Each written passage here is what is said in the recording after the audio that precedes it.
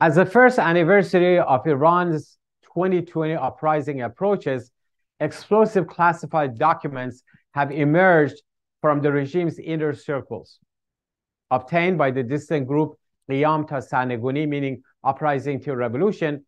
These papers offer an unparalleled look into Tehran's heightened fear over a nation's growing resolve to free itself from oppression and its pursuit of regime change.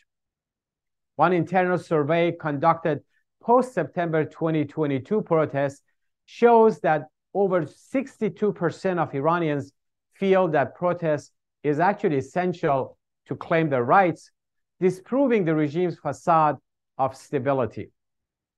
The classified files also expose the regime's readiness to funnel billions of dollars into to the regime security forces, the IRGC, heightening their preference for forceful suppression. One startling find is a budget allocating uh, $6 billion to the IRGC, underscoring the regime's skewed uh, priorities. Uh, Tehran's propaganda strategies are also laid bare, including directives to circulate false narratives on how it instructs its officials to manipulate public records and discredit the organized opposition.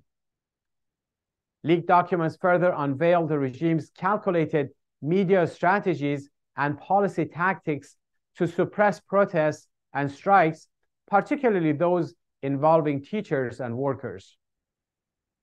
Such revelations dismantle Tehran's desperate campaign to project power and stability. Instead, they reveal a regime frantically working to quell a nation's dogged pursuit of freedom and its invincible spirit of resistance.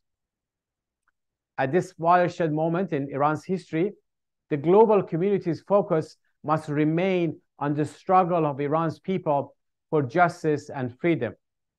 The world must stand on their side and recognize their desire and right to overthrow the regime.